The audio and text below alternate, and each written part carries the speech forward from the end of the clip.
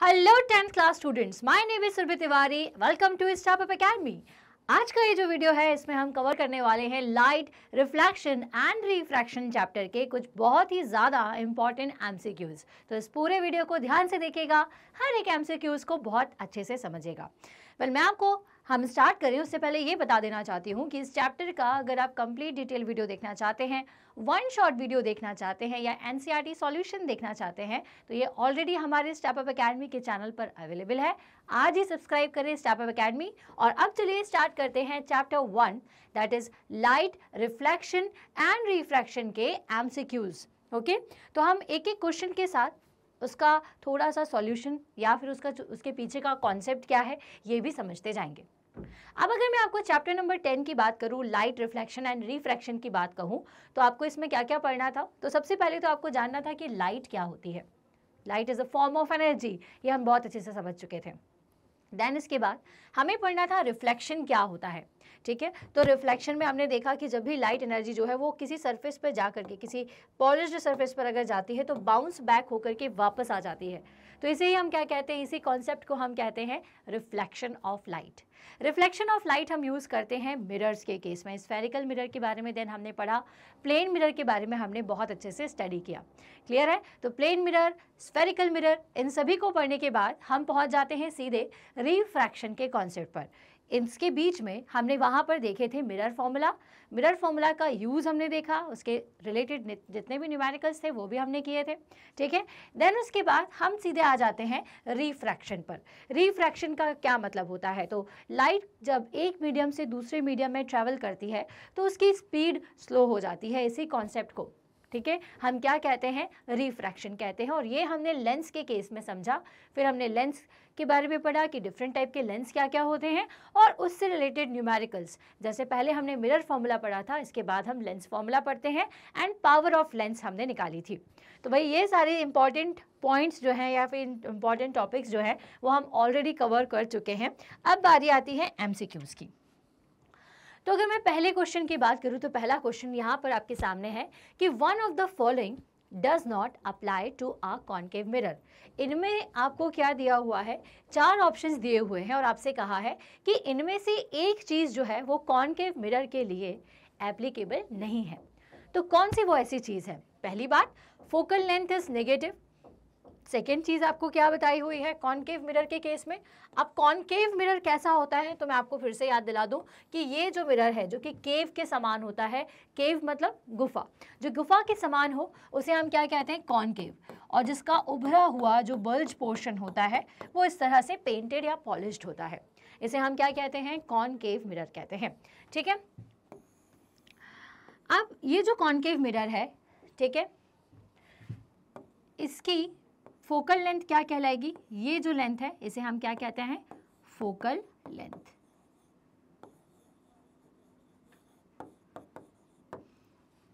ये कहते हैं क्या? नहीं, ये होती है रेडियस, ठीक है? इसका जो मिड पॉइंट होता है, ये कहलाता है आपका फोकस, और ये अगर आपकी रेडियस ऑफ़ कर्वेचर है, ठीक है? ये क्या है आपकी? रेडियस ऑफ़ कर्वेचर, ठीक है? और ये क्या है?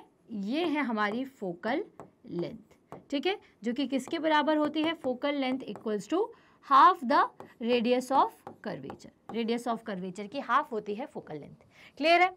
अब यहाँ से हमने इसके बाद पढ़ा था किसका रूल कार्टिशन रूल अब कार्टिशन रूल की अगर मैं बात करूँ तो अकॉर्डिंग टू कार्टिशन रूल ठीक है? कार्टिशन रूल के अकॉर्डिंग जितनी भी चीज़ें किस साइड पर होती हैं? आपके लेफ़्ट साइड पर. उन्हें हम क्या लेते हैं? नेगेटिव यहाँ पर पॉजिटिव जो अपवर्ड डायरेक्शन की तरफ़ होंगे, उसे पॉजिटिव लेना है और जो डाउनवर्ड डायरेक्शन की तरफ़ लेंगे, उसे नेगेटिव लेना है. तो इस तरह से ये जो आपकी फोकल लेंथ है, क्योंकि वो किस डायरेक्शन में है? फोकल लेंथ इस एक्सेस पर है. और कार्टिशियन रूल के अकॉर्डिंग इस एक्सेस पर सारी चीज़ों को हमें क्या लेना होता है? नेगेटिव लेना होता है. अब ये कार्टिशियन रूल और कुछ नहीं है. वही रूल जो कि आप नॉर्मली अगर आप ग्राफ ड्रॉ करते हैं और आप एक्सेस ड्रॉ करते हैं तो आपको चार एक्सेस मिलती है, ठीक है? पॉजिटिव, ये आप पॉजिटिव लेते हैं और ये दोनों एक्सेस को आप निगेटिव लेते हैं। तो जितनी भी चीज़ें इस एक्सेस पर आती हैं उसे आपको पॉजिटिव लेना है और इस एक्सेस पर आने वाली चीज़ों इस पर आने वाली चीज़ों को नेगेटिव लेना है और इस पर आने वाली सारी ही चीज़ों को हमें पॉजिटिव लेना है। अब बात आती है, इन एक्सेस का क्या यूज़ है? तो जब आपका ऑब्जेक्ट जो है, अगर वो सीधा रखा हुआ है कुछ इस डायरेक्शन में, इरेक्ट है तो आप उसे क्या कहोगे? पॉजिटिव लोगे। और अगर ये इन्वर्टेड है, कुछ इस तरह से है तो इसका मतलब आप उसे क्या लेंगे? नेगेटिव लेंगे। मतलब कि अगर एरो का डायरेक्शन अपवर्ड शो कर रहा है दैट मीन्स कि इस एक्सेस की बात हो रही है।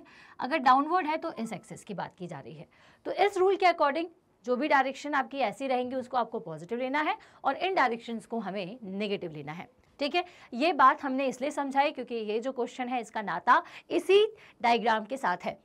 अब पहली चीज़ आपको क्या दी हुई है? Focal length is negative. तो अब देखें कि क्या फोकल लेंथ नेगेटिव होती है फोकल लेंथ कहाँ है? कॉन्केव मिरर की इस तरफ़ है। तो दैट मीन्स कि फोकल लेंथ तो नेगेटिव होती है। ये बात बिल्कुल सही है, ठीक है? तो ये ऑप्शन हमारा करेक्ट हो जाएगा। नेक्स्ट आपसे पूछा हुआ है image distance can be positive और नेगेटिव ठीक है? Image distance can be positive और नेगेटिव मतलब कि जो भी ऑब्जेक्ट इसके सामने, इस मिरर के सामने रखा होगा, जब उस मिरर की, उस ऑब्जेक्ट की इमेज मिरर पर बनेगी तो वो पॉजिटिव भी हो सकती है नेगेटिव भी हो सकती है। तो बिल्कुल हो सकती है। हमने बहुत सारे केसेस पढ़े हैं कॉन्केव मिरर के। तो कॉन्केव मिरर के सारे ही मैक्सिमम केसेस में क्या होता है कि जितनी भी इमेज है, वो किस तरफ़ बनती है? लेफ़्ट साइड बनती है। अब अगर इमेज यहाँ कहीं बन रही है तो ऑब्वियस सी बात है, उस इमेज के डिस्टेंस को आपको क्या लेना पड़ेगा? तो according to Cartesian rule image के डिस्टेंस को अगर वो यहाँ है तो आपको इसे नेगेटिव लेना पड़ेगा।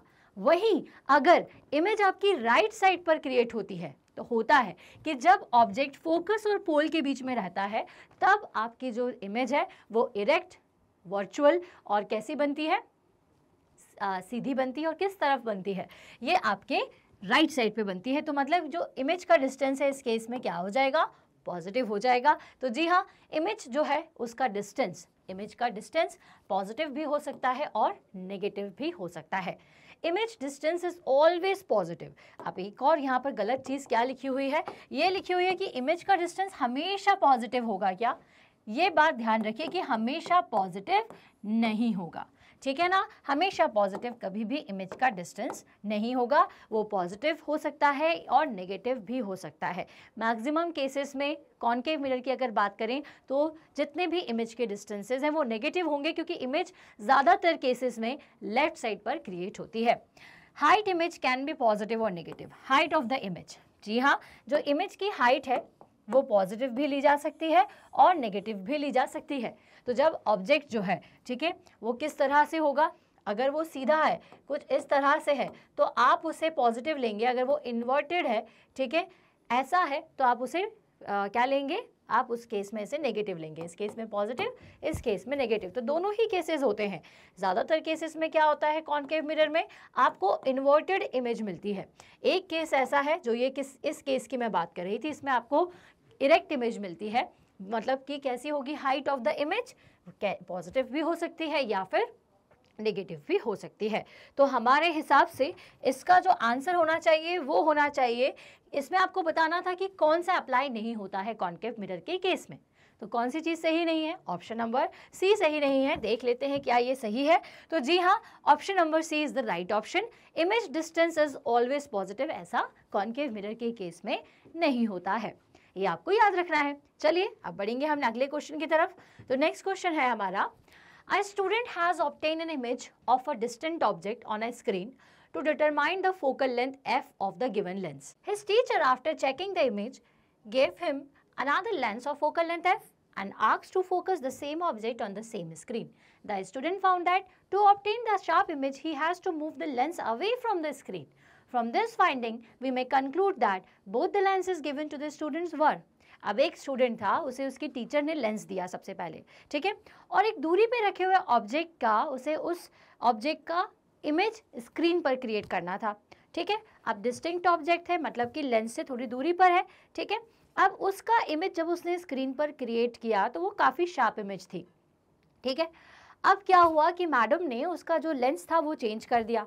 और उससे कहा कि सेम इमेज इस पर क्रिएट करके बताओ। तो अब जब उसने लेंस उस ऑब्जेक्ट के बीच में रखा और स्क्रीन को स्क्रीन के स्क्रीन पर जब उसने ऑब्जेक्ट की इमेज को देखा तो वो जो इमेज है, वो कैसी मिल रही थी? थोड़ी शार्प नहीं थी। तो फिर उसने क्या किया? लेंस को थोड़ा सा दूर और शिफ्ट किया। तो क्या हुआ? इमेज जो इमेज है, वो शार्प बनने लगी। ठीक है? तो ये पूरा केस था। तो अब आपको ये बताना है कि एक्चुअल में वो लेंस कैसा था? क्या दोनों ही लेंसेज की फोकल लेंथ सेम थी? या फोकल लेंथ अलग अलग थी? तो किसकी फोकल लेंथ ज़्यादा थी? ठीक है? तो देखिए, सबसे पहले तो आपको ये पता होना चाहिए कि स्क्रीन पर अगर इमेज मिल रही है तो इसका मतलब क्या है कि इमेज रियल है। क्योंकि स्क्रीन पर कब तक इमेज नहीं मिलती है? जब तक कि इमेज रियल ना हो। और किस केस में हमें रियल इमेज मिलती है? तो कॉनकेव मिरर और कॉन्वेक्स लेंस इन दोनों ही केसेस में, इन दोनों के ही केसेस में हमें रियल इमेज मिलती है। तो इसका मतलब ए ऑप्शन और सी ऑप्शन तो नहीं है। दैट मीन्स बी ऑप्शन और डी ऑप्शन में से कुछ होगा। ठीक है ना? तो चलिए, ये बात तो क्लियर हो गई कि कॉन्वेक्स मिरर कॉन्वेक्स लेंस है। ठीक है? अब अगर मैं बात करूँ शार्प इमेज की तो किसी भी उससे शार्प इमेज हमें कब मिलती है?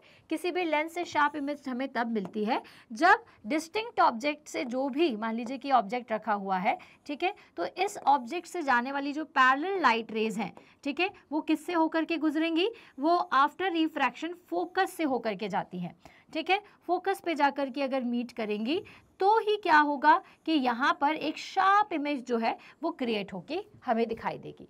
ठीक है? तो इसका मतलब कि स्क्रीन और फोकस के बीच की जो दूरी है, वो कितनी होगी? जितनी फोकल लेंथ की दूरी है। ठीक है ना? तो मतलब कि पहले केस में जो ऑब्जेक्ट स्क्रीन और लेंस के बीच की दूरी है, वो एक्चुअल में कितनी है? F1 ही है। ठीक है? कब आपको शार्प इमेज मिलेगी? जब स्क्रीन और लेंस के बीच की दूरी किसके बराबर हो? फोकल लेंथ के बराबर हो। ठीक है? अब दूसरे केस में क्या हुआ कि यहाँ से हम ये तो समझ गए कि हमें स्क्रीन और लेंस के बीच का डिस्टेंस कितना लिखना है, कितना लेना है, फोकल लेंथ के बराबर, ठीक है? तो F1 के बराबर जब आपने इन दोनों के बीच का डिस्टेंस रखा तो आपको शार्प इमेज मिल रही थी। अब आपने क्या किया कि उसे हटाया और दूसरा लेंस रख दिया? तो लेकिन अब शार्प इमेज नहीं मिल रही है। तो शार्प इमेज के लिए आपको क्या करना पड़ेगा? स्क्रीन और लेंस के बीच का जो डिस्टेंस है वो कितना रखना पड़ेगा? फोकल लेंथ के बराबर। तो इसका मतलब आपने स्क्रीन से लेंस को दूर किया। इसका मतलब क्या है कि इसकी सेकेंड केस में जो लेंस यूज़ किया है, उसकी फोकल लेंथ पहले केस के लेंस से ज़्यादा होगी। तो इसका सही ऑप्शन क्या होगा? इसका सही ऑप्शन होगा option number B, that is convex lens और इसमें आपकी फोकस लेंथ क्या होना चाहिए? Convex lens F one is smaller than F two या फिर हम कह सकते हैं F one is sorry F2 is greater than F1 clear है? चलिए, अब इसके बाद हम देखेंगे अगला क्वेश्चन तो अगला क्वेश्चन कौन सा है आपका? क्वेश्चन नंबर थर्ड अब देखिए यहाँ पे if a spherical lens has a power of minus zero point two five dioptre the focal length of this lens will be तो इसकी फोकल लेंथ क्या होगी? अब हमें पता है कि अगर लेंस फॉर्मूले की बात की जाए लेंस की पावर की बात की जाए तो पावर ऑफ़ लेंस कितना होता है? पावर अगर निकालनी है तो P इक्वल्स टू होता है वन अपॉन एफ़ ठीक है? तो ये आपका फॉर्मूला है. क्लियर है? अब अगर मुझे पावर दी हुई हो फोकल लेंथ निकालना है तो हम कैसे निकालेंगे? F equals to one by P कर देंगे. सिंपल सा फॉर्मूला सो P की वैल्यू कितनी दी हुई है आपको?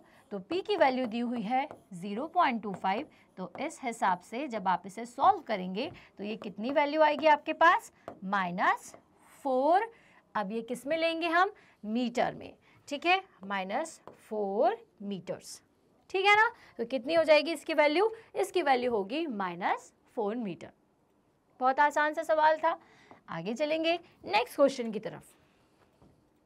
Where should an object be placed in front of a convex lens to get a real image of the size of the object? ठीक है? अब हमारे पास एक कॉन्वेक्स लेंस है, ठीक है? और हमें उसकी रियल इमेज लेनी है। किसी ऑब्जेक्ट की हमें रियल इमेज लेनी है। तो द और इसका साइज़ कहना कैसा होना चाहिए? The real image of the size of the object मतलब कि जितना आपके ऑब्जेक्ट का साइज़ है, वही साइज़ आपका इमेज का होना चाहिए। तो अब देखिए, बहुत सारे केसेस होते हैं। ये हमें बहुत अच्छे तरीके से पता है कॉन्वेक्स लेंस के केसेस में भी। ठीक है? अब वो केसेस कौन कौन से हैं? अभी देखिए, बहुत सारे केसेस में या तो ऑब्जेक्ट इन्फिनिटी पर रखा हो, या ऑब्जेक्ट आपका टू एफ़ और इन्फिनिटी के बीच में हो, या फिर टू एफ़ पर हो, या फिर आपके पी नियर पी पी के पास हो। ठीक है? तो किस पे प्लेस पर, ठीक है, आपको रियल इमेज मिलती है? तो देखिए, मैंने आपको तरीका समझाया हुआ है। आप कहाँ से स्टार्ट करें? आप इन्फिनिटी से स्टार्ट करें। इन्फिनिटी से आएँगे तो आपको कैसी इमेज मिलेगी? थोड़ी सी आपको डिमनिस्ड इमेज मिलेगी जैसे जैसे पास आएँगे, ठीक है? तो आपको थोड़ी सी कैसी इमेज मिलेगी? एंड लार्ज इमेज मिलेगी। और टू एफ़ पर अगर आप आते हैं, ठीक है? ट्वाइस द फोकल लेंथ तो उस लेंथ पर, उस पोजीशन पर आपको सेम इमेज मिलती है। और ज़्यादा पास जाते जाएँगे तो आपको एनलार्ज इमेज मिलेगी, ठीक है? और अगर आप ऑप्टिकल सेंटर और एफ़ के बीच में, ठीक है, अगर इमेज को रखते हैं ऑब्जेक्ट को रखते हैं तो फिर आपको हाईली एनलार्ज इमेज इस केस में मिलती है। तो भाई, इस केस में हमें कहाँ पर ऑब्जेक्ट को रखना चाहिए? तो at twice the focal length ठीक है? दैट मीन्स कि अगर हम बी पोजिशन पर रखते हैं ऑब्जेक्ट को, ठीक है? Focal length at twice the focal length C पर अगर या फिर टू एफ़ पर अगर मैं ऑब्जेक्ट को रखती हूँ तो इस केस में जो इमेज मेरी मिलेगी, वो इमेज मुझे कैसी मिलेगी? वो इमेज मुझे जितनी साइज़ की यहाँ पर है, उतने ही साइज़ की इमेज यहाँ पर मुझे दिखाई देगी, ठीक है? तो चलिए इसके बाद आगे बढ़ेंगे हमारे नेक्स्ट क्वेश्चन की तरफ़। अब नेक्स्ट क्वेश्चन है if the focal length of a spherical mirror is 12.5 centimetre ठीक है? It's radius of curvature will be अगर फोकल लेंथ अगर स्फेरिकल मिरर की बात करें, अब किसी भी स्फेरिकल मिरर की बात की जा सकती है, चाहे वो कॉनकेव मिरर हो, ठीक है? चाहे वो कॉन्वेक्स मिरर हो, ठीक है? चाहे कॉनकेव हो, चाहे कॉन्वेक्स मिरर हो, दोनों की ही अगर मैं बात करूँ फोकल लेंथ की तो फोकल लेंथ क्या होती है? भाई, ये हो गया आपका ऑप्टिकल सेंटर ठीक है? सॉरी ये हो गया पोल पोल कहते हैं इस केस में ठीक है? यहाँ पर है आपका सेंटर ठीक है? और बीच में उसके सेंटर ऑफ़ पोल के बीच में कौन सा पॉइंट होता है? फोकस होता है। इस केस में भी यही देख लीजिए। ये हो गया आपका पोल ये हो गया एफ़ और ये होता है सी क्लियर है? अब इस डिस्टेंस को आप क्या बोलते हैं? रेडियस ऑफ़ कर्वेचर इस डिस्टेंस को आप क्या बोलते हो? रेडियस ऑफ़ कर्वेचर क्योंकि भाई इनको हमने किसी स्फेयर से ही कट किया हुआ है। स्फेयर से कट किया हुआ है दैट मीन्स कि इसका सेंटर होगा तो ये रहा वो सेंटर सेंटर है तो रेडियस होगी तो ये रही वो रेडियस ठीक है? अब इन्होंने आपको क्या दिया हुआ है? If the focal length of a spherical mirror is 12.5 centimetre ठीक है? किसी भी स्फेरिकल मिरर की बात कर सकते हैं। तो फोकल लेंथ क्या होती है? फोकस से पोल के बीच की दूरी, या फिर रेडियस ऑफ़ कर्वेचर का हाफ़ अगर कर दिया जाए तो जो पॉइंट मिलेगा, उस पॉइंट की पोल से जो दूरी होती है, जो डिस्टेंस होता है, उसे हम फोकल लेंथ कहते हैं। तो इस केस में जो फोकल लेंथ है आपका, वो क्या होगी? ये होगी आपकी फोकल लेंथ और ये कितनी दी हुई है आपको? ये दी हुई है 12.5 सेंटीमीटर तो 12.5 सेंटीमीटर अगर फोकल लेंथ है यहाँ पर भी हम मेंशन कर देते हैं कि अगर 12.5 सेंटीमीटर फोकल लेंथ है तो फिर R O C that means radius of curvature कितना होगा? तो जस्ट डबल आपको करना होगा। तो आप क्या कर दीजिए? 12.5 पॉइंट फाइव इंटू टू आप करेंगे तो आपको कितना मिलेगा? आपको मिलेगा इसका जस्ट डबल करेंगे तो 12 ट्वेंटी फाइव सेंटीमीटर अब यहाँ पर कुछ तो गड़बड़ है है ना? ए और डी ऑप्शन बिल्कुल सेम दिए हुए हैं। ठीक है? तो हम इसको सॉल्व करके देख लेते हैं। ठीक है ना? तो ये हो जाएगा।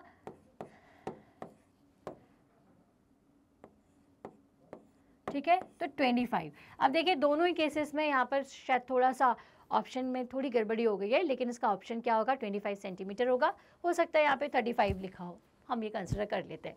तो चलिए, इसका सही ऑप्शन क्या है आपका? 25 सेंटीमीटर ठीक है? सो नेक्स्ट क्वेश्चन है मैग्निफिकेशन से related so magnification produced by a plane mirror is अब देखिए मैग्निफिकेशन की जो वैल्यू है ना, उसकी लिमिट क्या है? कि अगर मैग्निफिकेशन की वैल्यू आ रही है वन ओके okay? तो इसका मतलब ऑब्जेक्ट का size is equals to image का साइज़ ठीक है? ऑब्जेक्ट साइज़ इक्वल्स टू क्या हो जाएगा? इमेज साइज़ अगर मैग्निफिकेशन की वैल्यू है वन अगर मैग्निफिकेशन की वैल्यू जो है, वो वन से छोटी है तो इसका मतलब ऑब्जेक्ट की जो इमेज है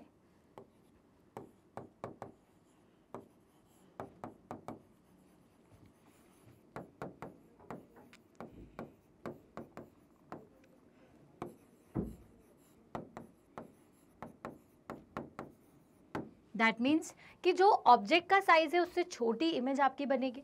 ठीक है? अगर m वन से क्या है? सॉरी वन से छोटा है, ठीक है? अगर m की वैल्यू क्या है? वो वन से छोटी है तो इस केस में। अगर m बड़ा है, इसका मतलब size of image is large compare to object size clear है? तो ये तीन केसेस होते हैं। अब यहाँ पे मैग्निफिकेशन जो है प्लेन मिरर कैसा प्रोड्यूस करता है? तो प्लेन मिरर में क्या प्रॉपर्टी होती है? कि आपको हमेशा virtual erect and same size of the object की इमेज मिलती है। मतलब कि जो इमेज बनती है, वो बिल्कुल सेम साइज़ की होती है। जितना साइज़ ऑब्जेक्ट का है, उतना ही साइज़ इमेज का होता है। दोनों के बीच में डिस्टेंस भी जो है वो बिल्कुल सेम रहता है। अगर आप दो मीटर प्लेन मिरर से बाहर खड़े हैं तो मिरर के अंदर भी दो मीटर बाद ही आपकी जो इमेज है वो क्रिएट होगी। और कैसी साइज़ की होगी? जितना साइज़ में आप उस मिरर में फिट हो पा रहे हैं। ठीक है? तो इस केस में आपका जो मैग्निफिकेशन है वो क्या होना चाहिए? Less than one, greater than one, zero या इक्वल टू वन तो इसके हिसाब से ऑब्जेक्ट का साइज़ और इमेज का साइज़ कब होता है बराबर? जब m की वैल्यू वन हो मतलब magnification is equals to one that means कि हमारा ऑप्शन क्या होना चाहिए? तो हमारा जो ऑप्शन है, वो होना चाहिए option number D that is equal to one clear है? तो यहाँ पर हमारा आंसर आ चुका है इक्वल टू वन बिल्कुल सही है। आगे चलेंगे नेक्स्ट क्वेश्चन की तरफ़। तो नेक्स्ट क्वेश्चन में आपसे पूछा हुआ है the image formed by a concave mirror is real inverted and highly diminished कौन सा मिरर है? कॉन्केव मिरर है। इस केस में रियल इन्वर्टेड और हाईली डिमनिस्ड मतलब कि बहुत छोटी इमेज बन रही है ऑब्जेक्ट की। तो object must must be at between pole and focus at focus at the centre of curvature या फिर इन्फिनिटी कहाँ पर ऑब्जेक्ट होना चाहिए? ठीक है? तो भाई देखो, बहुत सिंपल सा एक फंडा है जो कि मैंने अपने पिछले काफ़ी सारे वीडियोस में, जिसमें मैंने कॉन्केव मिरर के बारे में आपको कॉन्सेप्ट समझाया, उसमें समझाया भी हुआ है। आप बिल्कुल उसको जा करके देखिए।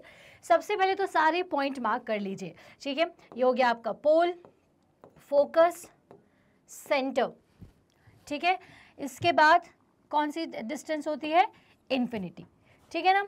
तो अब आपको ये सारी आपकी सारी पोजीशंस क्या कर दी है? यहाँ पर मार्क कर दी हैं। ठीक है? अब ये हो जाएगा एट इन्फिनिटी ठीक है? यहाँ पर एक और पोजीशन मार्क कर दीजिए बिटवीन इन्फिनिटी एंड सी ये हो जाएगी आपकी एट सी ये हो जाएगी बिटवीन सी एंड एफ़ ठीक है? एट एफ़ और बिटवीन सी एंड पी ठीक है? ये आपके ऑब्जेक्ट की डिफरेंट डिफरेंट पोजिशंस हैं। अब यहाँ से मार्किंग कर दीजिए। One two three four five ठीक है? जहाँ पर आपने फाइव लिखा, उसके नीचे क्या लिख दीजिए? वन डैश फोर के नीचे two dash three dash four dash and five dash ठीक है?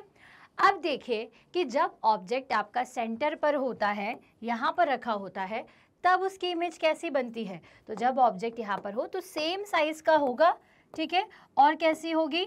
रियल इन्वर्टेड ठीक है? रियल और इन्वर्टेड और ज़्यादा पास में जाएँगे तो क्या होगा? और ज़्यादा पास में चली जाऊँ मतलब कि मैं अगर सी और एफ़ के बीच में चले जाऊँ, इस मिरर के पास में तो कैसी इमेज मिलेगी? तो भाई देखो कॉन्केव के केस में याद रखो कि जितना दूर जाएँगे, उतनी छोटी इमेज बनती है और जितना पास जाओगे, उतनी लार्ज इमेज बनती है। ठीक है? ओके ये बात आपको याद रखनी है। ठीक है ना? तो अब ये देखें कि अगर यहाँ पर बोला गया है कि हाईली डिमनिस्ड इमेज है तो आपका जो ऑब्जेक्ट है वो कहाँ रखा होगा? हाईली डिमनिस्ड कहाँ पर होगा? सबसे दूर वाली पोजीशन पर दैट मीन्स कि इन्फिनिटी पर। अगर इन्फिनिटी पर ऑब्जेक्ट रखा हुआ है तो वो कैसी इमेज देगा? Real inverted and highly diminished ठीक है? कैसी इमेज बनेगी? रियल इन्वर्टेड और बिल्कुल छोटी सी इमेज यहाँ पर बनेगी। तो इसका आंसर क्या होना चाहिए? तो इसका आंसर जो है, वो क्या हो जाएगा? Option number D, that is at infinity. तो अगर इन्फिनिटी पर ऑब्जेक्ट रखा हुआ है तो इस केस में कॉन्केव मिरर कैसी इमेज क्रिएट करेगा? Real, inverted and highly diminished image create करेगा।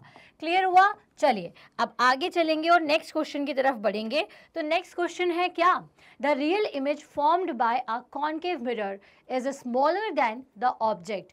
If the object is real image formed by concave mirror अब वही देखिए अगेन कॉन्केव मिरर का ही क्वेश्चन है। तो कॉन्केव मिरर जब इमेज बना रहा है तो वो ऑब्जेक्ट से छोटी है। तो ऑब्जेक्ट कहाँ रखा होना चाहिए? Between centre of curvature and focus at distance greater than the radius of curvature at a distance equal to radius of curvature at a distance equal to focal length अब देखिए अगेन मुझे वही diagram draw करना पड़ेगा, ठीक है? आप चाहे तो उसको फास्ट फॉरवर्ड भी कर सकते हैं जब तक मैं डायग्राम ड्रॉ कर रही हूँ, ठीक है? तो यहाँ पर हम जल्दी जल्दी फटाफट से सारे ही पॉइंट्स क्रिएट कर देते हैं। ये हो जाएगा पोल ये हो जाएगा आपका एफ़ ठीक है? ये सी ओके? और ये पॉइंट है आपका इन्फिनिटी तो ये हो जाएगा one dash sorry one at infinity one ठीक है? एक पोजीशन हो जाएगी ये बिटवीन सी एंड इन्फिनिटी, ठीक है, जिसको मैं टू नाम दे देती हूँ। एक हो जाएगा थ्री एट सी, एक हो जाएगा सी और एफ़ के बीच में, एक हो जाएगा एफ़ पर और एक हो जाएगा इसके बीच में। तो भाई, मुझे कैसी इमेज मिल रही है? Smaller than object if the object is between centre of curvature and focus अब सेंटर ऑफ़ कर्वेचर कहाँ है? ये रहा। ठीक है? तो सेंटर ऑफ़ कर्वेचर ये है और फोकस ये है। तो सेंटर ऑफ़ कर्वेचर और फोकस के बीच में अगर ऑब्जेक्ट रखा होता है तो आपको कैसी इमेज मिलती है? इस केस में तो भाई हमें कैसी इमेज मिलेगी? एंड लार्ज इमेज मिलेगी, क्योंकि हमने अभी देखा कि जितना पास अगर ऑब्जेक्ट रखा होता है तो उतना ज़्यादा हमें कैसी इमेज मिलती है? डिमनिश्ड एंड लार्ज इमेज मिलती है। लेकिन इसमें स्मॉल मिल रही है। At a distance greater than radius of curvature अब अगर रेडियस ऑफ़ कर्वेचर है ये तो इस डिस्टेंस से ज़्यादा अगर कहीं पर भी ऑब्जेक्ट आपने रखा हुआ है, ठीक है? चाहे आपने यहाँ रखा हो, चाहे यहाँ चाहे यहाँ चाहे यहाँ, या इन्फिनिटी पे कहीं पर भी रखा हो तो इस सारे ही केसेस में क्या होगा कि अगर सेंटर ऑफ़ कर्वेचर से ज़्यादा के डिस्टेंस पर आपने ऑब्जेक्ट को रखा है तो आपको कैसी इमेज मिलती है? आपको जो इमेज है, वो कैसी मिलती है? कॉनकेव मिरर आपको स्मॉल इमेज प्रोवाइड करता है। तो जी हाँ ये सही है, लेकिन आगे के क्वेश्चन को देख लेते हैं। At a distance equal to radius of curvature तो अब रेडियस ऑफ़ कर्वेचर ये रहा। तो अगर यहाँ पर मैं ऑब्जेक्ट को प्लेस कर दूँगी, ठीक है, इस केस में थर्ड ऑप्शन वाले में यहाँ पर रख दूँगी, ठीक है, ये सेकेंड ऑप्शन है और ये आपका फ़र्स्ट ऑप्शन है। तो थर्ड ऑप्शन में तो मुझे सेम इमेज मिलेगी तो थर्ड भी कैंसिल फ़र्स्ट भी कैंसिल, थर्ड भी कैंसिल। अभी टू जीत रहा है, फोर्थ देख लेते हैं। At a distance equal to focal length तो ये तो बिल्कुल भी नहीं। फोकल लेंथ के केस में तो हमें कैसी इमेज मिलेगी? वर्चुअल इमेज मिलेगी और इरेक्ट इमेज मिलेगी और वो बहुत ज़्यादा हाईली एंड लार्ज होगी और आपको ये इस तरफ़ कहीं पर मिलेगी। तो ये ऑप्शन नंबर जो डी है आपका, ये ए है, ये बी है और ये सी है। ठीक है? ये ऑप्शन नंबर बी यहाँ पर, ठीक है? सी यहाँ पर ये ए और ये डी तो क्या ऑप्शन सही होना चाहिए? डी ऑप्शन सही होना चाहिए, क्योंकि अगर ऑब्जेक्ट डी ऑप्शन पर बी ऑप्शन पर रखा हुआ है, तभी आपको कैसी इमेज मिलेगी? स्मॉल इमेज मिलेगी। तो इसका ऑप्शन क्या होगा? इसका ऑप्शन होगा option number B that is at a distance greater than the radius of curvature clear है? आगे बढ़ेंगे नेक्स्ट क्वेश्चन की तरफ़. द रिफ्रैक्टिव इंडेक्स इंडेक्स है ये ठीक है? और four medium A B C D are 1.44, 1.52, 1.65 and 1.36 respectively अब कुछ भी मटेरियल हो सकता है उनका आपको रिफ्रैक्टिव इंडेक्स दिया हुआ है। ठीक है? रिफ्रैक्टिव इंडेक्स का मतलब क्या होता है? इसका मतलब इससे हमें वो रेशियो मिलता है कि कितना अपने नॉर्मल स्पीड से कितना स्पीड ऑफ़ लाइट जो है वो कम हुई है, या फिर आप ये कह सकते हो कि कितना वो नॉर्मल की तरफ़ बेंड हुई है। ठीक है ना? कितने एक्सटेंट पर बेंड हुई है, उसे आप रिफ्रैक्टिव इंडेक्स से कैलकुलेट कर सकते हो। तो जिसका जितना ज़्यादा रिफ्रैक्टिव इंडेक्स होता है उतना ज़्यादा जो लाइट रे है वो बेंड हो जाती है रेयर से जब डेंसर मीडियम में आती है। तो इसका मतलब क्या है कि कितना डेंसर है मीडियम क्लियर है ना? So when light traveling in air is incident in these medium at equal angles, the angle of refraction will be minimum. ठीक है तो आपको ये बताना है कि जब एयर से लाइट जो है वो इनमें से किसी भी मीडियम में जब एंटर करती है इसमें से किसी भी मटेरियल में जब एंटर करती है तो उस केस में सबसे कम रिफ्रैक्शन ठीक है एंगल ऑफ़ रिफ्रैक्शन सबसे कम किसमें होगा? एंगल ऑफ़ रिफ्रैक्शन का कम होने का मतलब क्या होता है?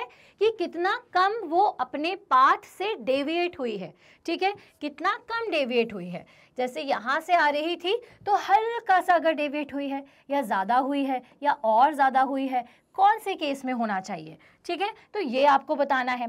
तो भाई, जितना ज़्यादा ये रिफ्रैक्टिव इंडेक्स की वैल्यू होती है, उतना ही ज़्यादा ये जो आपकी बेंडिंग ऑफ़ लाइट है, वो बढ़ जाती है। तो सबसे कम किसमें बेंड होगी? जिसका सबसे कम रिफ्रैक्टिव इंडेक्स होगा। तो किसका सबसे कम है? 1.36 का। ठीक है? तो ये किसका है? ये ए है, ये बी है, ये सी है और ये डी है। तो सबसे कम रिफ्रैक्टिव इंडेक्स क्योंकि डी का है, इसीलिए एंगल ऑफ़ रिफ्रैक्शन सबसे कम किसके केस में होगा तो इसका आंसर जो है वो हो जाएगा इन मीडियम, यहाँ पर आपको दिया हुआ है सी ठीक है? अब आप सोचेंगे कि कैसे भाई सबसे कम बैंड हो रही है, क्योंकि अब देखिए, सबसे कम बैंड होने का क्या मतलब है?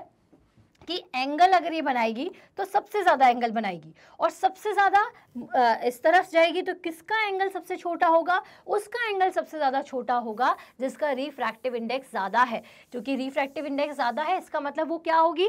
ज़्यादा इस तरह से बेंड होगी। तो इसलिए इसका ऑप्शन क्या हो जाएगा? इसका ऑप्शन होगा मीडियम सी क्लियर है? चलिए, अब नेक्स्ट क्वेश्चन प्लेन मिरर का है।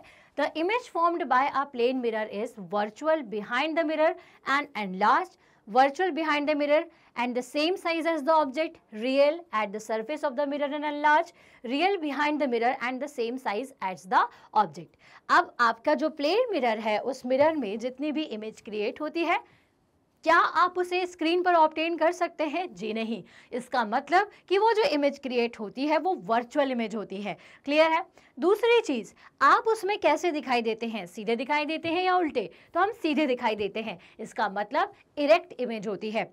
दूसरी चीज़, क्या आप छोटे, बड़े ऐसे कुछ दिखाई देते हैं? अगर आप मॉर्निंग में तैयार हो रहे हैं मिरर में देखकर खुद को तो आप खुद को एक जैसा साइज़ का पाते हैं। इसका मतलब सेम साइज़ आपके इमेज क्रिएट होती है। तो इसलिए यहाँ पर जो सही ऑप्शन है, वो ये है वर्चुअल और बिहाइंड द मिरर मिरर के पीछे इमेज क्रिएट होती है। तो virtual behind the mirror and the same size as the object that is option number B clear हुआ? आगे बढ़ेंगे। नेक्स्ट क्वेश्चन की तरफ़. So next question is by using convex lens, a student obtain a sharp image of his classroom window grill on his screen. ठीक है? अब भाई उसके क्लासरूम में ग्रिल लगी हुई थी विंडो में तो उसकी एक बहुत अच्छी शार्प इमेज उसे मिल रही थी जब उसने कॉन्वेक्स लेंस का यूज़ किया। अब लेंस को उसने सामने रखा होगा और उसे कैसी इमेज मिल रही थी? स्क्रीन पर. ठीक है? ये उसकी विंडो थी. जिसमें ग्रिल लगी हुई थी। ठीक है? यहाँ पर उसने कॉन्वेक्स लेंस रखा और इस स्क्रीन पर उसको कैसी इमेज क्रिएट हो रही है? बिल्कुल शार्प इमेज बन रही है। ठीक है? So in which direction should he move the lens to focus a distant tree instead of the grill अब ग्रिल से दिखाई देने वाला अगर उसको पेड़ जो कहीं दूर लगा होगा, अगर वो उसे बनाना है तो उसे क्या करना पड़ेगा? तो भाई देखो कि जितना ज़्यादा आप क्या करेंगे ऑब्जेक्ट से दूर जाएँगे स्क्रीन के पास जाते जाएँगे, उतना ज़्यादा हम पीछे की चीज़ों को आगे बना पाएँगे in case of convex lens तो भाई इस केस में क्या होना चाहिए? लेंस को हमें स्क्रीन के पास लाना चाहिए या दूर लाना चाहिए? So towards the screen away from the screen very far away from the screen या फिर बिहाइंड द स्क्रीन तो भाई, जैसा मैंने आपसे कहा कि टूवर्ड्स द स्क्रीन स्क्रीन के पास आपको लेंस को ज़्यादा करना पड़ेगा, क्योंकि उस केस में आपका क्या क्रिएट हो जाएगा ऑब्जेक्ट और इसके बीच में डिस्टेंस क्रिएट होगा। और जितनी दूरी का अगर आपको चाहिए है तो दैट मीन्स कि उसने बड़ी सी चीज़ को आपको छोटे से स्क्रीन पर अगर चाहिए है तो आपको क्या करना होगा, उसे शिफ्ट शिफ्ट करना होगा, उसे दूर लेकर के आना होगा। तो यहाँ पे हमारा ऑप्शन हो गया option number A now let's move on to our next question that is magnification produced by a convex concave lens is always concave lens की बात की जा रही है। तो मैग्निफिकेशन कैसा देता है ये? More than one equal to one less than one more than one और लेस देन वन देखिए कॉनकेव लेंस की अगर मैं बात करूँ तो एक ऐसा लेंस है जो हर केसेस में आपको डिमिनिस्ड पॉइंट साइज़ इमेज ही देता है। दैट मीन्स कि इसका मैग्निफिकेशन जो है वो कैसा होगा? वन से कम होगा। तो इसलिए इसका ऑप्शन क्या होगा? Less than one that is option number C clear हो गया? चलिए तो यहाँ से हम समझ गए इसके बारे में। अब आगे आएँगे और नेक्स्ट क्वेश्चन को देखेंगे। The angle of incidence of a light passing through the center of curvature of a concave mirror is. ठीक है? अब हमारे पास एक कॉनकेव मिरर है, ठीक है? ये रहा हमारा कॉनकेव मिरर क्लियर है? नहीं, एक काम करते हैं मिरर को किसी और कलर से ड्रॉ करते हैं ताकि आपको और क्लियर से दिख जाए, ठीक है? So this is our concave mirror okay so the angle of incidence for a light, passing through the center of curvature of a concave mirror is. ठीक है? अब वो लाइट ठीक है, जो कि क्या कर रही है? इस मिरर के सेंटर ऑफ़ कर्वेचर से होकर के जा रही है। अब ये मिरर है और ये रहा इसका सेंटर ऑफ़ कर्वेचर सी ठीक है? अब एक लाइट रे आ रही है, वो इससे होकर के इस तरह से जा रही है। ठीक है? तो क्या होगा इस केस में? क्या एंगल ये बनाएगी? So the angle of incidence for the light passing to the centre of curvature of a concave mirror is तो इसका एंगल ऑफ़ जो इंसिडेंस है, ये क्या होगा? 45 डिग्री 90 डिग्री 0 डिग्री या फिर 180 डिग्री अब अगर मैं इस पर नॉर्मल ड्रॉ करूँ, ठीक है? इस पर।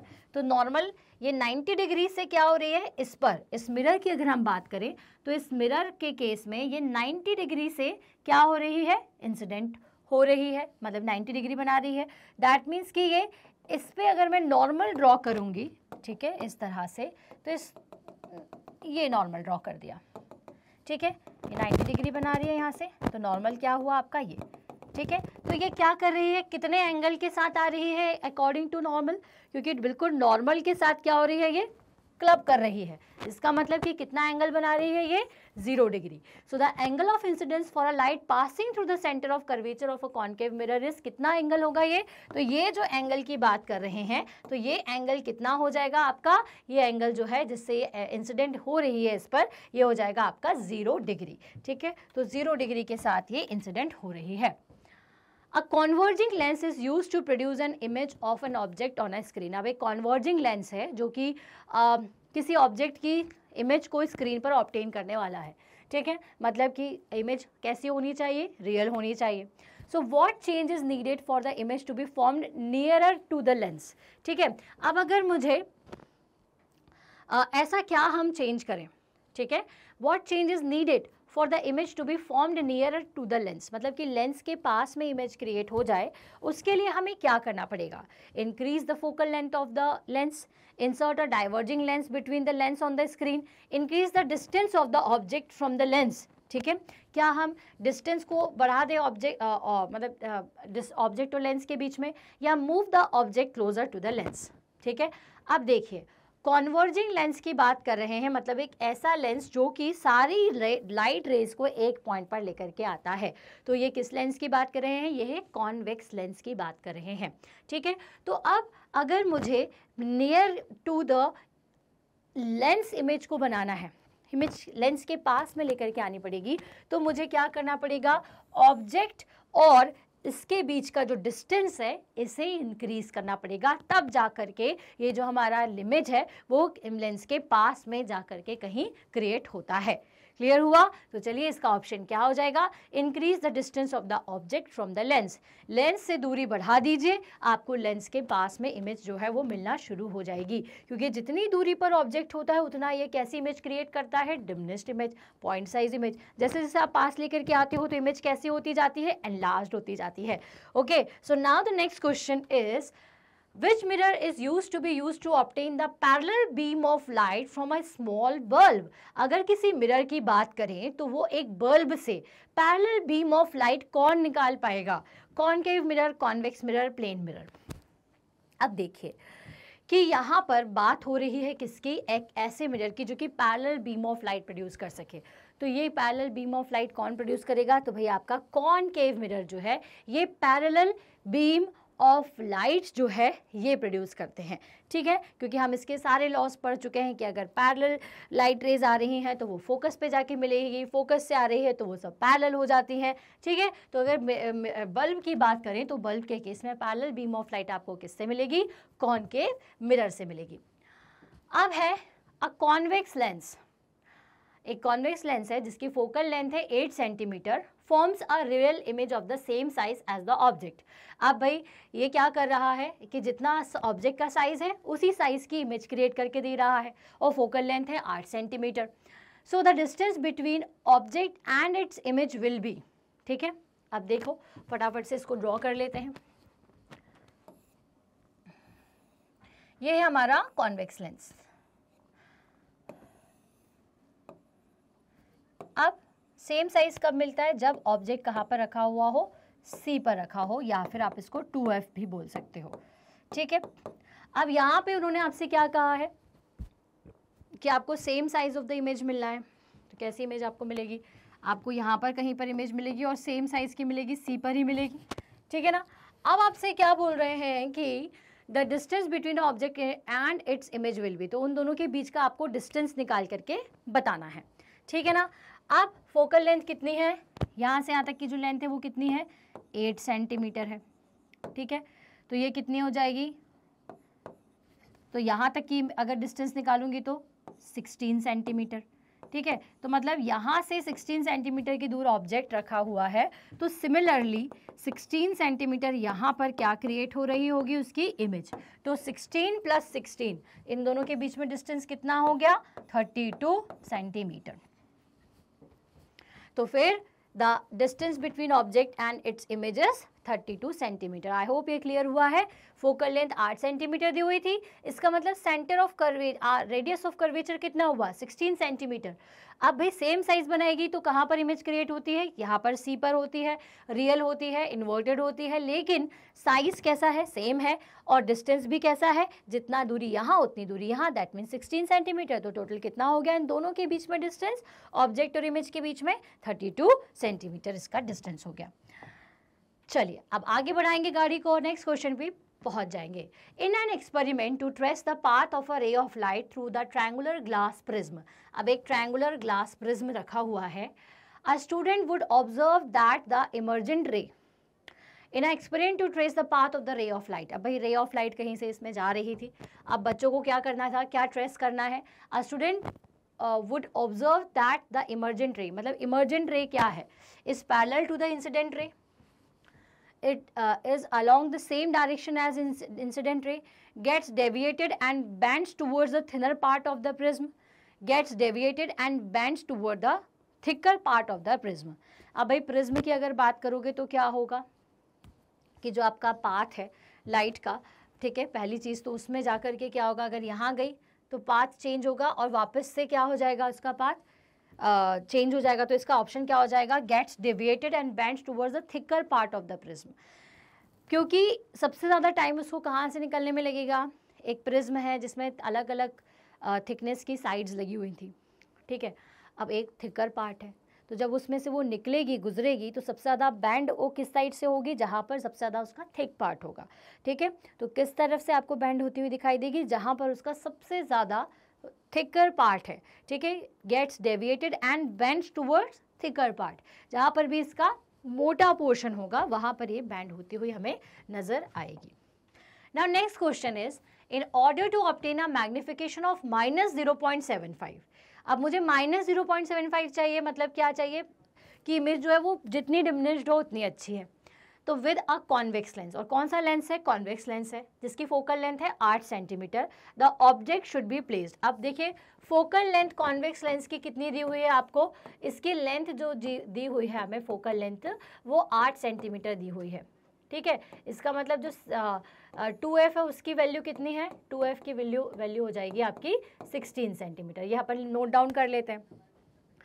अब अगर ऑब्जेक्ट को मैं सी पर रखती हूँ तो सेम साइज़ मिलता है। जैसे जैसे पास जाते हैं तो अनलार्ज मिलता है, ठीक है? और इन्फिनिटी पर कितनी, कैसी मिलती है आपको? बहुत ज़्यादा छोटी इमेज मिलती है। यहाँ पर भी आपको छोटी इमेज मिलती है बिटवीन सी और इन्फिनिटी के बीच में, ठीक है? ये पॉइंट क्या है? बिटवीन सी एंड इन्फिनिटी ठीक है? अब ऑब्जेक्ट को कहाँ प्लेस करें कि हमें magnification minus zero point seven मिले? At less than eight centimetre तो भाई आठ सेंटीमीटर से कम की दूरी पर रखोगे तो क्या होगा? और ज़्यादा लार्ज इमेज आपको मिलेगी तो ये नहीं हो सकता। Between eight centimetre and sixteen centimetre आठ और सोलह सेंटीमीटर के बीच में, ठीक है, यहाँ पर कहीं पर रखेंगे तो भी काम नहीं चलेगा, ठीक है? एट सेंटीमीटर और सिक्सटीन सेंटीमीटर मतलब फोकस की बात कर रहे हैं तो यहाँ पर भी बात नहीं बनेगी। बियॉन्ड सिक्सटीन सेंटीमीटर और एट सिक्सटीन सेंटीमीटर अब देखो एट सिक्सटीन सेंटीमीटर बोल रहे हैं इसका मतलब क्या है कि सी की बात कर रहे हैं। तो सी भी नहीं हो सकता। सी बोल रहे हैं मतलब कि बियॉन्ड 16 सेंटीमीटर है ना? मैं सारे ऑप्शंस को यहाँ पर मेंशन कर देती हूँ और आप ज़रा सोच, सोचिए कि कहाँ पर होना चाहिए। लेस देन 8 सेंटीमीटर ये हो गया आपका ए ऑप्शन ठीक है? मतलब यहाँ पे कहीं पे। Okay between eight and C तो ये हो गया बी ऑप्शन ठीक है? बियॉन्ड सिक्सटीन सेंटीमीटर मतलब कि यहाँ पर, कहीं पर, ठीक है? और उसके बाद डी है एट सिक्सटीन तो देखिए ए पर भी कैसी इमेज बनेगी? एंड लास्ट बनेगी। ठीक है? बी पर भी एंड लास्ट बनेगी। यहाँ पर आपकी सेम साइज़ इमेज बनेगी और सी पर कैसी बनेगी आपकी?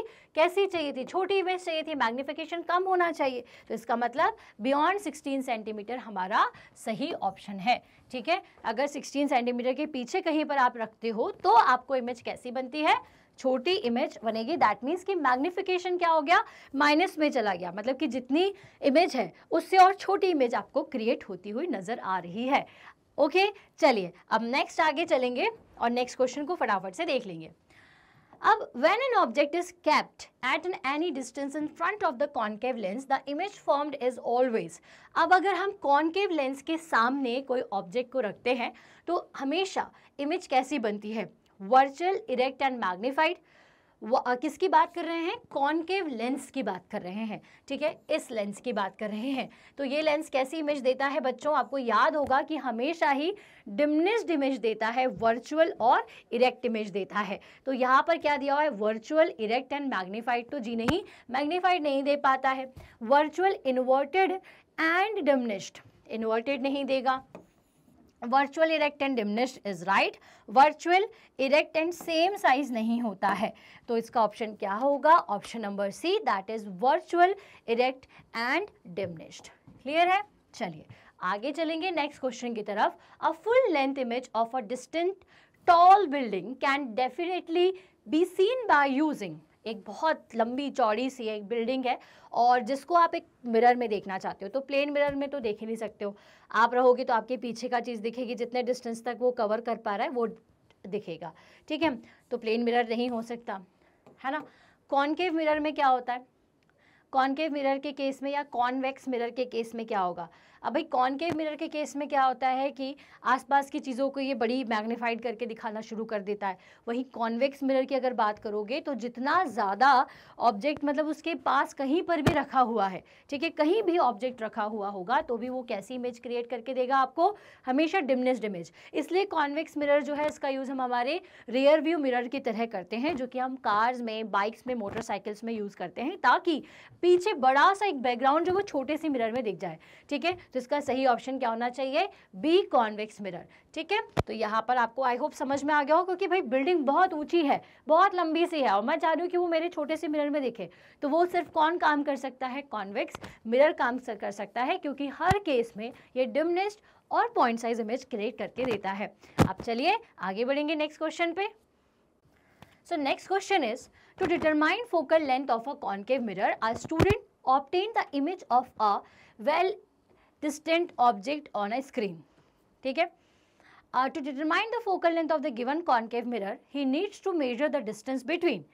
अब देखो क्या किया है इसने to determine the focal length of concave mirror student obtain the image of a well distant object on a screen मतलब कि एक uh, काफ़ी दूरी पर एक कोई ऑब्जेक्ट रखा हुआ था और उसको उसने स्क्रीन पर ऑप्टेन कर लिया to determine the focal length of the given concave mirror अब अगर ये जो डिस्टेंट ऑब्जेक्ट था ठीक है उसको स्क्रीन पर मिल रहा था, ठीक है? तो उसकी फोकल लेंथ कैसे निकालें? कॉन्केव मिरर की फोकल लेंथ कैसे निकालें? So to determine the focal length of the given concave mirror he needs to measure the distance between तो उसको किस किस के बीच का डिस्टेंस मेजर करना होगा? ठीक है? So mirror and the object mirror and the screen screen and the object screen and the object and also mirror and the screen अब देखिए, यहाँ पे थोड़ा सा क्वेश्चन जो है मुझे यहाँ पर गड़बड़ लग रहा है। मुझे लगता है कि क्वेश्चन को थोड़ा सा चेंज होना चाहिए था कि to determine the focal length of a concave mirror a student obtain the image of a well distant object on a screen थोड़ा सा क्वेश्चन मुझे गड़बड़ लग रहा है तो अपन अभी इसको स्किप करते हैं। ठीक है नेक्स्ट क्वेश्चन की तरफ़ चलते हैं, क्योंकि क्वेश्चन में थोड़ी सी कहीं पर गड़बड़ी लगा, मुझे नज़र आ रही है। ठीक है, इसको हम एंड में देख लेंगे। Now next question is a ray of light travelling in air goes into water the angle of refraction will be अब देखो लाइट जो है, वो जब एयर में ट्रैवल करती है तो उसकी speed three into ten to the power eight metre per second से थोड़ी ही कम रहती है। क्योंकि three into ten to the power eight metre per second क्या है? स्पीड ऑफ़ द लाइट तो स्पीड ऑफ़ द लाइट थोड़ी कम हो जाएगी जब एयर में, ठीक है? तो जब एयर से ये पानी के अंदर आती है तो एंगल ऑफ़ रिफ्रैक्शन क्या होगा? पानी के अंदर आएगी तो भाई क्या होता है कि उसका जो स्पीड है, वो कम हो जाएगी। तो जब भी एयर क्या होता है आपका? रेयर मीडियम और पानी क्या होता है? डेंसर मीडियम तो जब रेयर से डेंसर मीडियम की तरफ़ लाइट रे जा रही है तो उसकी स्पीड कम हो रही है और स्पीड कम होने की वजह से क्या होता है कि वो टूवर्ड्स नॉर्मल अगर ये लाइट आ रही है और यहाँ से मैं नॉर्मल ड्रॉ करूँ तो ये कहाँ पर एक बैंड होगी? नॉर्मल की तरफ़ जो है वो अपने बैंड हो जाती है। जाना उसको सीधा चाहिए था, लेकिन कहाँ बैंड हो जाती है? टूवर्ड्स नॉर्मल नॉर्मल की तरफ़ बैंड हो जाती है। ठीक है?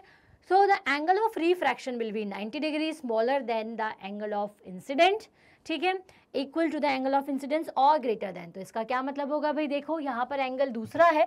दूसरे एंगल से इंसिडेंट हो रही है, लेकिन ये एंगल जो है, इस एंगल से छोटा है। ठीक है? सेम एंगल कब कहलाता? अगर ये एंगल मिलता। लेकिन ये एंगल तो मिल नहीं रहा है। इस, ये छोटा एंगल है। बड़ा एंगल कब होता? जब वो यहाँ कहीं जाती। ठीक है? लेकिन यहाँ पर आपको मिल रही है। यहाँ पर लाइट आ रही है। दैट मीन्स कि नॉर्मल की तरफ़ आएगी। तो मतलब क्या? नॉर्मल आपका ये नाइन्टी डिग्री तो नाइन्टी डिग्री से पास आती जा रही है। मतलब थोड़ा थोड़ा थोड़ा थोड़ा एंगल कम होता जा रहा है। तो smaller than the angle of incidence ठीक है? तो एंगल ऑफ़ इंसिडेंस से छोटी एंगल ऑफ़ रिफ्रैक्शन की वैल्यू आएगी। A beam of parallel light ray is incident through the holes on one side of a box. अब ये एक बॉक्स है। यहाँ से बीम ऑफ़ लाइट आ रही थी। ठीक है? बहुत सारी बीम्स ऑफ़ लाइट आई थी। And emerge out through the hole on its opposite side अब ये सब यहाँ पर जाकर के क्या हुई? मिल गई। ठीक है? एक पॉइंट से निकल रही हैं। ठीक है? सो so, द डायग्राम अब इसमें शो नहीं है, लेकिन अपन ऐसा मान लेते हैं कि यहाँ से आ रही हैं और जाकर के एक पॉइंट पर मिल रही हैं। So which of the following could be inside the box a rectangular glass block a concave lens a convex lens और अ ग्लास प्रिज्म अब भाई देखिए कि यहाँ पर बात आ जाती है कॉन्वर्जिंग लेंस की। तो इनमें से कौन सा लेंस जो है वो कॉन्वर्जिंग लेंस है? तो भाई कॉन्वेक्स लेंस जो है वो कॉन्वर्जिंग है। सारी लाइट रे को आकर के एक पॉइंट पे मिलाएगा, तब जाकर के हमें वो एक लाइन में दिखाई देंगी। तो इसीलिए जब आपने उसे दूसरी साइड से देखा तो हमें कैसी दिखाई दे रही है? एक रे ऑफ़ लाइट उसमें से आती हुई, सब मिलती हुई मर्ज होती हुई लाइट दिखाई दे रही है। दैट मीन्स कि उसके अंदर क्या होगा? उसके अंदर कॉन्वेक्स लेंस होगा। Now the next question is The following can make a parallel beam of light from a bulb for, uh, falls on it? अब भाई पैरेलल बीम ऑफ़ लाइट कौन बना सकता है? Concave mirror as well as concave lens convex mirror as well as concave lens concave mirror as well as convex lens या concave mirror as well as convex lens ठीक है? तो भाई दो ऑप्शंस तो यहाँ पर बिल्कुल सिमिलर ही मुझे लग रहे हैं ठीक है? तो इसका सही ऑप्शन क्या होना चाहिए? तो पैरल बीम ऑफ़ लाइट आ रही है, ठीक है? और वो पैरल बीम ऑफ़ लाइट मतलब कौन बना सकता है? तो इसमें से देखिए भाई पैरल बीम ऑफ़ लाइट जो सिर्फ़ और सिर्फ़ आपको आएँगी तो वो किस केस में आएँगी? Concave mirror as well as concave convex lens में क्योंकि पैरल बीम ऑफ़ लाइट जा करके किस पे मिलेंगी? फोकस पे, क्योंकि इन दोनों ही केसेस में, चाहे हम कॉनकेव मिरर की बात करें चाहे हम कॉन्वेक्स लेंस की बात करें, दोनों ही केसेस में अगर पैरल बीम ऑफ़ लाइट आती हैं तो वो सब एक पॉइंट पर जाकर के एमर्ज होती हैं। क्लियर है? Now the next question the speed of the light is in air is three into ten to the power eight metre per second ये अभी हमने देखा था। अगर नहीं पता है आपको तो एक बार इसको भी रिवाइज कर लीजिए। और अब आ जाएँगे हम नेक्स्ट क्वेश्चन पर। So which of the following can make a parallel beam of light when light from a point source is incident on it ठीक है? अगर पॉइंट सोर्स से कोई लाइट आ रही है तो पैरल बीम ऑफ़ लाइट कौन बना पाएगा? Concave as well as convex lens concave convex mirror as well as concave lens two plane mirror या फिर concave mirror as well as concave lens तो भाई, अभी हमने इसका ऑप्शन देखा था, बिल्कुल सेम ऑप्शन यहाँ पर भी दिया हुआ है। वही बात है कि चाहे पॉइंट से आए और पैरेलल कर दे या पैरेलल आए, ठीक है, और फिर पॉइंट पर लेकर आ जाए तो ये दोनों ही कौन कर सकता है? कॉनकेव मिरर और कॉन्वेक्स लेंस ठीक है आइए नेक्स्ट चलते हैं। Refractive index of water, sulfuric acid, glass and carbon disulfide are 1.33, 1.43, 1.53 and 1.63 respectively. The light travels slowest in. अब refractive index का मतलब होता है कि जो जितना ज़्यादा dense है जो denser medium है उसका सबसे ज़्यादा refractive index होगा और जो जितना ज़्यादा dense होगा उतना ज़्यादा उसमें speed of the light क्या हो जाएगी कम हो जाएगी। तो और जितनी स्पीड ऑफ़ लाइट कम होगी, उतना ज़्यादा वो बैंड होगा, किसके टूवर्ड्स होगा नॉर्मल के टूवर्ड्स होगा। तो यहाँ पर लाइट सबसे ज़्यादा कहाँ किसमें सबसे ज़्यादा स्लो होगी? तो बात की जाए तो जिसका सबसे ज़्यादा रिफ्रैक्टिव इंडेक्स है that means carbon disulphide that means option number D हमारे लिए सही होगा। क्लियर है? चलिए अब आगे बढ़ेंगे और नेक्स्ट क्वेश्चन की तरफ़ बढ़ेंगे। तो नेक्स्ट क्वेश्चन है the mirror use by a dentist to examine the teeth of a person is अब कौन सा मिरर है जिसकी वजह से डेंटिस्ट जो है, वो पर्सन के टीथ को एग्जामिन करता है? तो अगर मुझे टीथ का ऑपरेशन करना है या टीथ में देखना है कि क्या प्रॉब्लम है तो मुझे जूम इमेज दिखाई देनी चाहिए। तो वो किसमें दिखेगी? वो दिखेगी, जितना पास जाओ, उतना जूम हमें कौन दिखाता है? तो कौन के मिरर दिखाता है? तो यहाँ पर ऑप्शन क्या होगा? कौन concave okay okay so भाई, इसी के साथ अब हम खत्म करते हैं chapter light reflection and refraction के कुछ बहुत ही इंपॉर्टेंट एमसीक्यूज बहुत सारे डिटेल्स जानने के लिए चैप्टर को डिटेल में पढ़ने के लिए वन शॉट रिवीजन के लिए और most expected questions with numericals के लिए। फॉलो स्टेप अप अकेडमी क्योंकि स्टेप अप अकेडमी पर हमने ऑलरेडी ये सारे वीडियोस बनाए हुए हैं। तो फॉलो स्टेप अप अकेडमी और सारी चीज़ों को प्लेलिस्ट में जाकर के चेक कर लीजिए। और आज ही सब्सक्राइब करें लाइक करें शेयर करें, क्योंकि स्टेप अप अकेडमी एक ऐसा चैनल है जहाँ पर सारी ही क्लासेस के ऑनलाइन वीडियो लेक्चर्स अवेलेबल हैं। प्लस आपको यहाँ पर कॉम्पिटिटिव एग्ज़ाम की अगर प्रिपरेशन करनी है तो फाउंडेशन कोर्सेज से हायर क्लास तक जे नीट सबकी प्रिपरेशन करवाई जाती है। ओके तो आज ही सब्सक्राइब करें और हमारी वेबसाइट को विज़िट करना ना भूलें, क्योंकि वहाँ आपको सैंपल पेपर्स के साथ साथ कुछ क्विजेज कुछ नोट्स भी अवेलेबल हैं। Our website is Step Up Academy dot I N D dot in इसी के साथ मैं कहती हूँ bye bye and thank you so much